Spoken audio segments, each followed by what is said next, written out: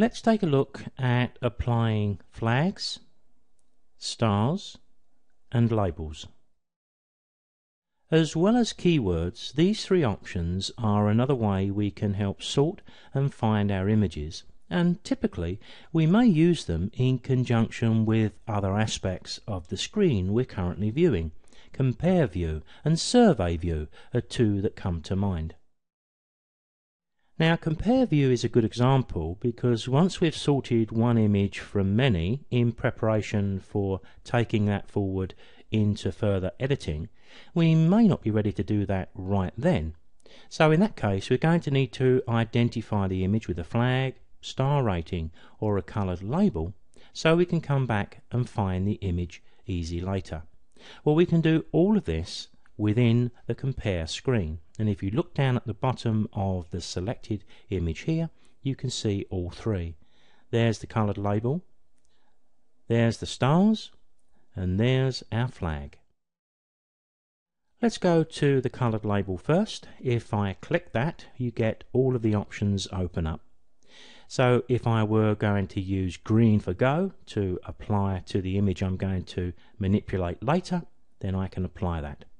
We see it in this fashion on the bottom right corner, but we see it a little stronger when we go back into grid view in a few moments. We can add a star rating, either one at a time, or we can just jump to the end and add all five stars. And we can click and drag to remove those stars, just clicking and dragging from the right to the left. And we can add a flag simply by hitting the letter P on the keyboard, as you can see with the little tooltip there, or just clicking and we see the flag appears white. Now I'll remove the flag and we'll just stay with the green label and what we'll do here is click done and go back and take a look in grid view. And now I've got my image look nicely highlighted in green, very easy to find, particularly when we get to the next video and start looking at sorting the images.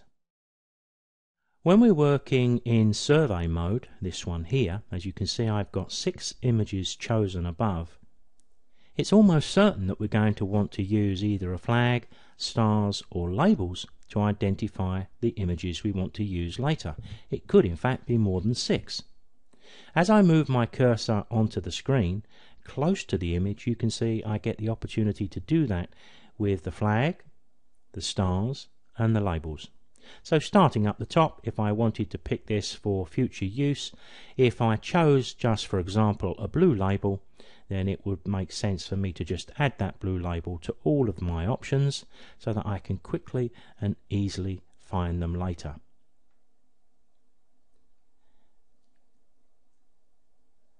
There we have it, and we could quite easily now go back to grid view.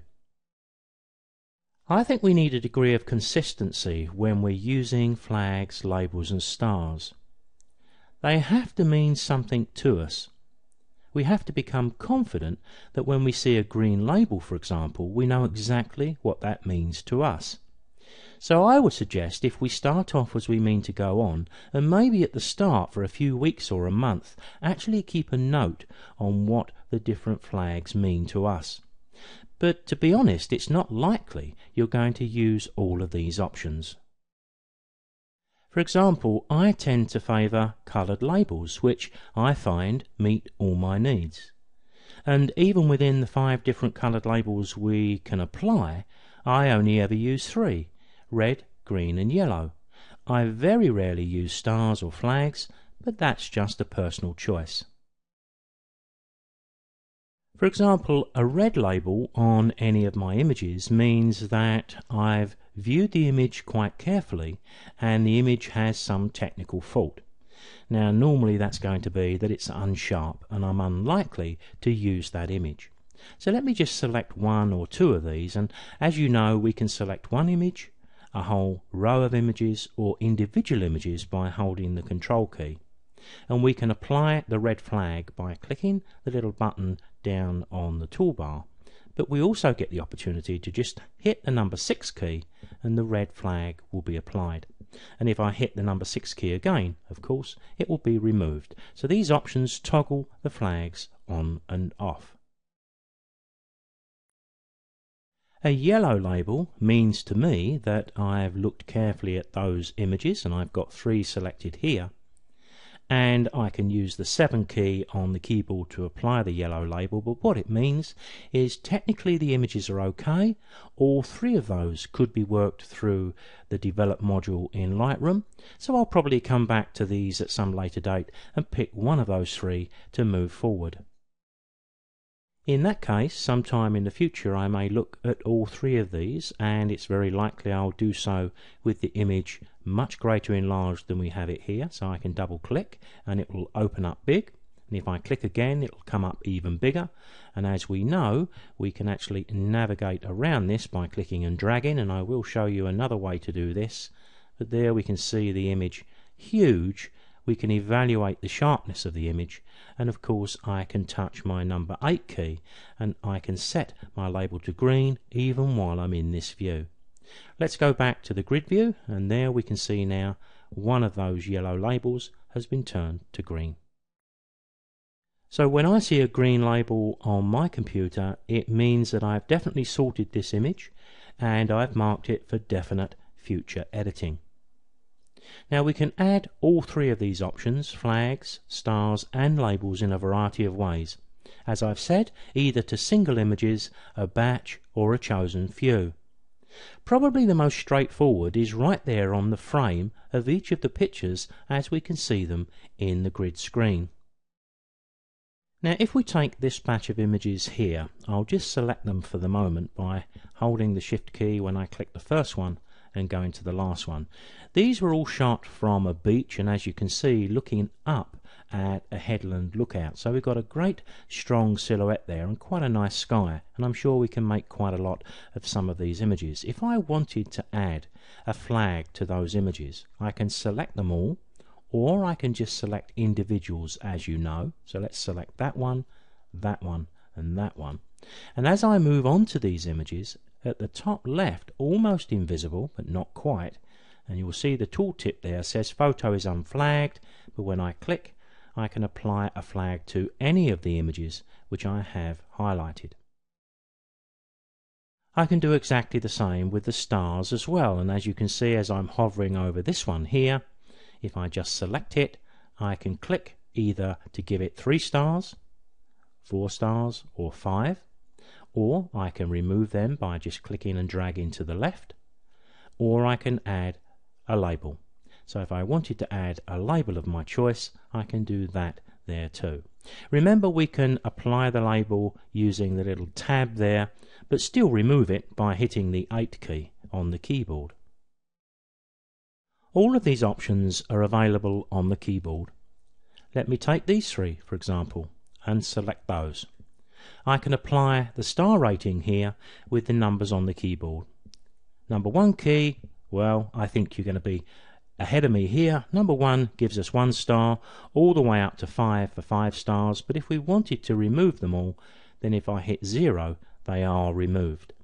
If I want to add a flag to those three images, I use the little key just to the left of the number one on my keyboard and there you'll see the flag appear at the top and touching the key again removes it. And of course we know we've got the same options with the coloured labels. Adding the coloured labels with a keystroke starts following the 5 star option. So once I've got past the number 5 key, if I hit the number 6 key, well you can see we get a red label. The number 7 gives us a yellow, 8 green that we've chosen before, 9 gives us blue, and I think we can choose another color but I'm not sure we have a keystroke for it. That's a good point. We have mauve down here.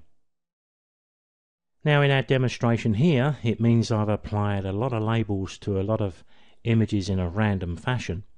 We can always remove them quite easily by selecting the image in question and just clicking the tag again or hitting the number key on the keyboard but of course, if I want to remove them all in one go, what I could do here is select all. So once I've selected one, hit Control A to select all of the images in that batch. Then if I right click, I can choose to remove them here. So I can choose Set Flag, Unflag. So I've just removed the flags from every single image. I can right click and go to Color Label and choose None. So there you'll see all of the colour labels gone. And I think the only one I've got left is my star rating. So there's the rating. Decrease rating, none.